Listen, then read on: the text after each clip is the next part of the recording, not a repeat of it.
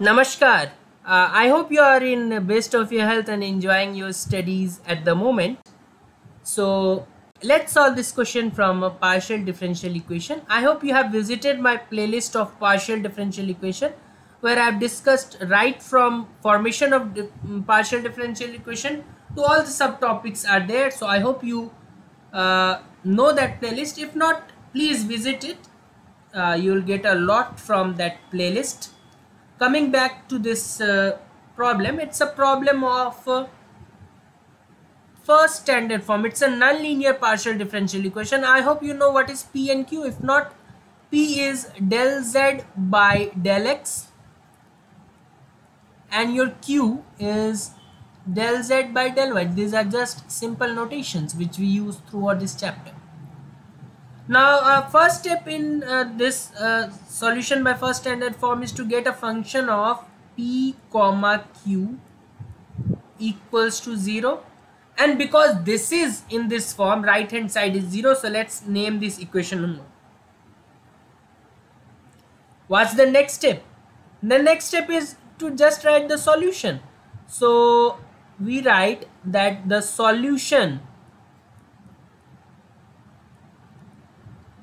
of equation number 1 is given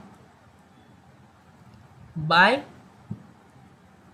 it is simply given by z equals to ax plus by plus c. Now we are not happy with this uh, ax plus by plus c because we want to uh, instead of writing it in terms of three constant we want to uh, keep c as it is but we want to interchange uh, and write a in terms of b or b in terms of e. So that we are left with only two constant. So for that we have to do something more. So let's name this equation number two. So for that we have a relation where f of a comma b equals to 0 so this relation will help us to interchange A in terms of B or B in terms of A. But how to get this equation? Simple thing is there. Uh, just replace P by A and Q by B now this is simple because uh, you have z equals to ax plus by plus c. So if you find del z by del x from here which is also your p so that will come out to be a partially differentiate with respect to x. Simply if you find del z by del y this will come out this is q and this will come out to be b if you partially differentiate it with respect to y because this and this will be treated as constant. So this is a simple uh, reason behind why we replace. If you do so uh, then from equation number one we can write ab plus a plus b equals to 0 I personally want to write B in terms of A. You can uh, think differently also. You can write B A in terms of uh, B also. So how to do that? For that, uh, let's see what we can do.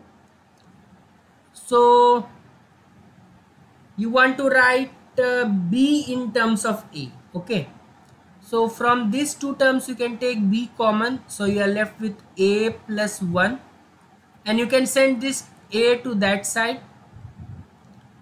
So your b is minus a divided by a plus 1 fine. We have successfully written b in terms of a. Now it's simple.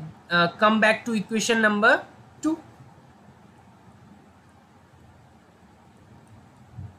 So from equation number 2, we can write z equals to write ax as it is. In place of b we can write a divided by a plus 1 times y plus c. This is your final solution. So easy method. Okay just function of p comma q equals to 0 that was already given in the question. Solution format you already know z equals to x plus by plus uh, c. Only thing you have to do is to either write a in terms of b or b in terms of a. For that we have a function of a comma b equals to 0 just simplify it get b in terms of a or a in terms of b and uh, simply put in that final solution equation and you will get everything you want. So i hope you understood it uh, do visit my playlist of partial differential equation for further uh, similar problems and other types of problems from partial differential equation. Thanks and have a very nice day.